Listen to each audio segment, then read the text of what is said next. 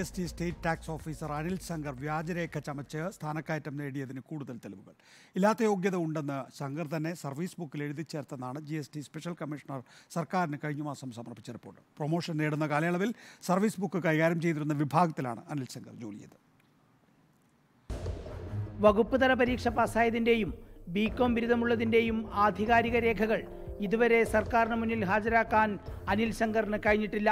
ഇതേ തുടർന്നാണ് G S T deputy commissioner Anil ശങ്കറിനെതിരെ സർക്കാരിന് റിപ്പോർട്ട് നൽകിയത്. രണ്ടര വർഷം മുമ്പ് കൊടുത്ത റിപ്പോർട്ട് സർക്കാർ പൂഴ്ത്തി. റിപ്പോർട്ടറാണ് ഈ വാർത്ത പുറത്തു കൊണ്ടുവന്നത്. അനിൽ ശങ്കർ റിപ്പോർട്ടിനോട് വിശദീകരിച്ചത് ഇതായിരുന്നു. ഈ രണ്ടെണ്ണത്തിന്റെ തൊണ്ണൂറ്റി ആറ് തൊണ്ണൂറ്റഞ്ച് തൊണ്ണൂറ്റാറ് പാസ്സായ. എന്റെ രണ്ടെണ്ണത്തിന്റെ ഇതില്ലാ പോയി. അപ്പോൾ അത് നമ്മൾ പി എസ് സിക്ക് തന്നെ റൈറ്റ് ടു ഇൻഫർമേഷൻ കൊടുത്തിട്ടും അത് കിട്ടിയില്ല അത്. എങ്ങനെയാണ് മതിയായ യോഗ്യതയില്ലാത്ത അനിൽ ശങ്കർ എൽ ഡി ക്ലർക്കിൽ നിന്ന് സ്റ്റേറ്റ് ടാക്സ് ഓഫീസർ വരെയായി എന്ന് നമുക്കൊന്ന് പരിശോധിക്കാം. നികുതി വകുപ്പിൽ എൽ ഡി ക്ലർക്കായി കയറിയ അനിൽ ശങ്കറിന് യു ഡി ക്ലർക്ക് ആവണമെങ്കിൽ പി എസ് സി നടത്തുന്ന അക്കൗണ്ട് ടെസ്റ്റ് ലോവർ കൂടാതെ ഡിപ്പാർട്ട്മെന്റിന്റെ മറ്റ് രണ്ട് പരീക്ഷകളും പാസ്സാകണം. Anil Shankar Kerala general sale tax പരീക്ഷ പാസ്സാവാതെ ഇതും പാസ്സായതായി സർവീസ് ബുക്കിൽ എഴുതി ചേർത്തതോടെ യു ഡി ക്ലർക്കായി പ്രൊമോഷൻ കിട്ടി.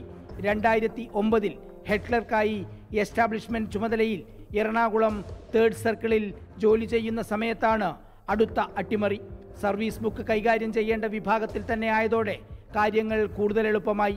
ഇതോടെ സ്വന്തം സേവന പുസ്തകത്തിൽ ബി കോം പാസ്സായെന്ന് എഴുതി ചേർത്ത് പ്രൊമോഷൻ വാങ്ങി ഇൻസ്പെക്ടറായി രണ്ടായിരത്തി ഇരുപതിൽ പരാതി ഉയർന്നതോടെ അന്വേഷണമായി. സേവന പുസ്തകത്തിലെ പ്രൊമോഷൻ നേടിയ യോഗ്യതകൾ പരിശോധിച്ചു. ബി കോം ബിരുദവും കേരള ജനറൽ സെയിൽ ടാക്സും പാസ്സായില്ലെന്ന് കണ്ടെത്തി.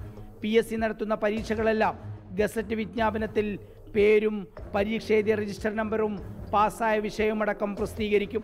ആ ഗസറ്റ് നോക്കിയാണ് അനിൽ ശങ്കർ ജയിച്ച മറ്റ് പരീക്ഷകളുടെ ആധികാരികത ഉറപ്പുവരുത്തിയതും ഒരു പരീക്ഷ ജയിച്ചില്ലെന്ന വിവരം കണ്ടെത്തിയതും. ജനറൽ ടാക്സ് അല്ലെങ്കിൽ ബുക്ക് കീപ്പിംഗ് അക്കൗണ്ടൻസി അല്ലെങ്കിൽ ബി കോം ബിരുദം. ഈ മൂന്നെണ്ണത്തിൽ ഒന്നും തെളിയിക്കാനാവാത്തതോടെയാണ് അനിൽ ശങ്കറിനെതിരായ റിപ്പോർട്ട് കൈമാറിയതും വർഷങ്ങൾക്കിപ്പുറം നടപടിയെടുക്കാതെ ഫയൽ ഇപ്പോഴും പൂഴ്ത്തിയതും. പരാതി വന്നതുകൊണ്ട് മാത്രമാണ് ഇങ്ങനെയൊരു സംഭവം പിടിക്കപ്പെട്ടത്. ഇങ്ങനെ എത്രയെത്ര പേരുണ്ടാകും സർക്കാർ സർവീസിൽ ഇതുപോലെ തുടരുന്നത്. എല്ലാ തെളിവുകളോടെ റിപ്പോർട്ട് കിട്ടിയിട്ടും എന്തുകൊണ്ടാണ് നമ്മുടെ സർക്കാർ സംവിധാനം നടപടിയെടുക്കാതെ ഫയൽ ഇങ്ങനെ പൂഴ്ത്തുന്നത്? Reporter T V Prasad in reporter Thiruvananthapuram. T V Prasad. T V Prasad എന്താണ് ഇക്കാര്യത്തിൽ അനിൽ ശങ്കർ നൽകുന്ന വിശദീകരണം? നികേഷെ കഴിഞ്ഞ ദിവസം നമ്മൾ അനിൽ ശങ്കറിന്റെ ആ വേർഷൻ ഇന്നലെ നമ്മൾ പ്രസിദ്ധീകരിച്ചിരുന്നു. അനിൽ ശങ്കർ പറഞ്ഞത് അങ്ങനെ തെറ്റായ രീതിയിലൊന്നുമല്ല കയറിയത്. ഇങ്ങനൊരു ബി കോം ബിരുദത്തെക്കുറിച്ച് താൻ എവിടെയും പറഞ്ഞിട്ടില്ല എന്നുമാണ് അനിൽ ശങ്കറിന്റെ വിശദീകരണം. മാത്രമല്ല താൻ അങ്ങനെ ചെയ്തിരുന്നുവെങ്കിൽ അത് നേരത്തെ തന്നെ അത് ഡിപ്പാർട്ട്മെന്റാണ് മുഴുവൻ ചെയ്തത്. എന്റെ ഭാഗത്ത് തെറ്റുകൾ ഒന്നുമില്ല.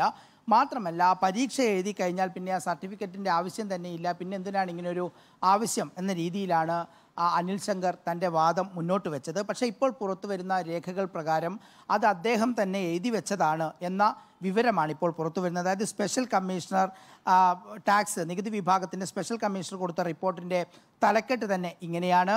S Anil Shankar state tax officer എറണാകുളത്തെ office fake qualifications entered by himself for promotions എന്നാണ് അതിന്റെ റിപ്പോർട്ട് സമർപ്പിക്കുന്നു എന്നാണ് അതിന്റെ തലക്കെട്ടായി തന്നെ എഴുതിയിരിക്കുന്നത്. അതിന്റെ ഫയലിന്റെ സ്ക്രീൻഷോട്ടാണ് നമുക്ക് നമുക്ക് വാർത്തയിൽ സ്ക്രീൻഷോട്ടായി വാർത്തയിൽ കാണിക്കാൻ കഴിയുന്നതും. നാല് മൂന്ന് രണ്ടായിരത്തി ഇരുപത്തി നാലിനാണ് ഈ ഫയൽ ഈ ഫയലായിട്ട് നീങ്ങുകയും ചെയ്യുന്നത്. ഈ വാർത്ത പുറത്തു വന്നതിന് ശേഷം ഈ റിപ്പോർട്ട് മൂന്ന് സ്ഥലങ്ങളിലാണ് ഇപ്പോൾ ഈ റിപ്പോർട്ട് പരിഗണിക്കുന്നത്.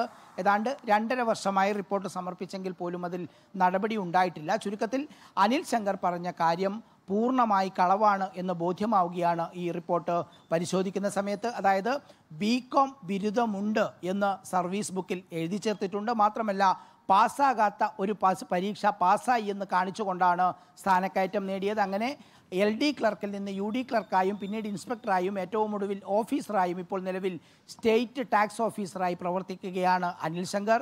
കൂടുതൽ അന്വേഷണം നടത്തി ഇനിയിപ്പോൾ ഈ റിപ്പോർട്ടിൽ നടപടിയുണ്ടായി. മറ്റന്വേഷണത്തിലേക്ക് പോയാൽ തീർച്ചയായും അനിൽ ശങ്കറിനെ സഹായിച്ചവർ ആര് എന്നത് ഉൾപ്പെടെയുള്ള തീർച്ചയായും. അത്തരം കാര്യങ്ങൾ കൂടി പുറത്തു വരേണ്ടതുണ്ട്. ടി വി പ്രസാദാണ് വിശദാംശങ്ങൾ നൽകിയത്. മറ്റ്